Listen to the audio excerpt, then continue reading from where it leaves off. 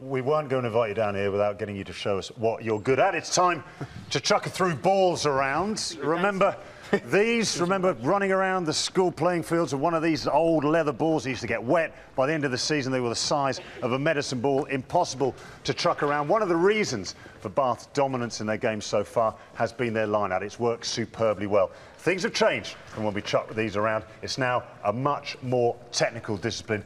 Ben, Rob, Take it away. Well, a lot of it has come down to how much analysis players are doing, and, and as a result, because teams know each other's line out so well, the role of this man, the hooker, has become all important. Because if you, you can get into a little tiny space, but if he can't hit the throw, you're never going to win any balls. So we just thought it'd be worth talking through a couple of the throws, but also what you're doing. I think a lot of people still think that hookers throw the ball like the good old days. It's all one-handed, and that one's just on there for a bit of balance. But that's not true, is it? Um, no. Um, I think Rafael Ibanez was probably the last guy to, to throw it like that, and you know he was pretty successful. But uh, nowadays, most people are two-handed throwers. Um, personally, I I'm right-handed, so my right hand's towards the back of the ball, and I use the seams as a bit of a guide as to where I place my hands with my thumbs, um, and that's what I try and use to, to generate the spiral to, to get the ball where it needs okay. to go. And if we just sort of show that in action, Babes, if you go and stand over there, if we show you know how you impart the, the spiral on the ball, just with a quick one to, to Babes yeah. there, Oz. I'm obviously going to out-jump him.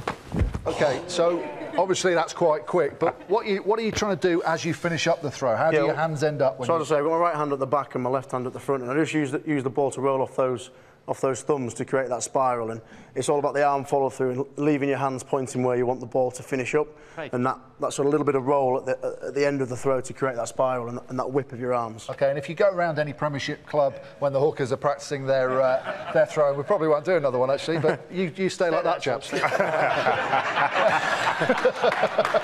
when, uh, when you go around any Premiership club, you'll see hookers on a Swiss ball. Yeah. And, and, what are they trying to do in, in that whipping movement on, on one of those big gym yeah, balls? It's just to combine all the, you know, the whole body really to use your core, core muscles to be able to whip that ball to the to the back when you're throwing 15 or beyond.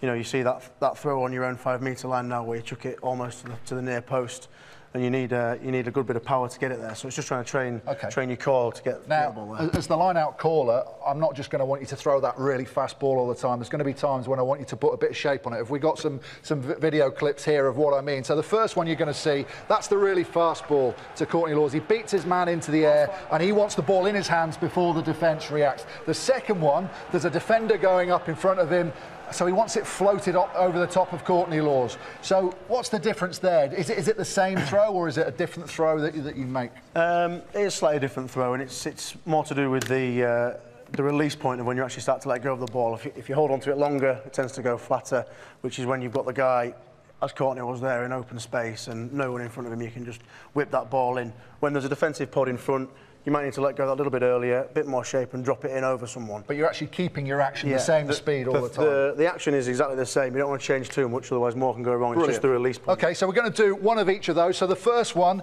uh, Becca Hanians are going to be the, the team attacking. You're going to throw to them, and it's going to be all about the jumper beating, beating I was going to say his man into the air. That would probably do you a distinct disservice. Beating his uh, opponent into the air and you beating him with the pace of the ball. So let's have a look.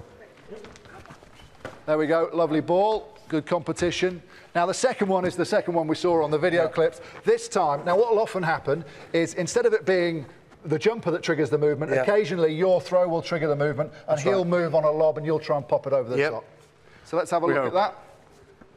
So on the movement, little loop ball over the top and you've got into the space behind. So Bafes there you have it, the two different types of throws. And actually, you know, a lot of people would have thought that it was all about a slower throw. It's not. Same action, you just release the ball earlier. That's right.